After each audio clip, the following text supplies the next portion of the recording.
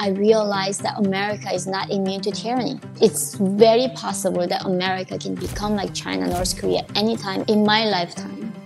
What does that mean? In America, there is a ruling elite right now.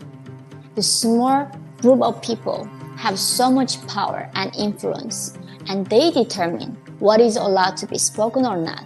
They determine what is a truth or not. If you don't follow this groupthink, you lose your job, you lose your dignity, they call you bigot and racist. It's like we are being punished for the collective guilt like North Korea.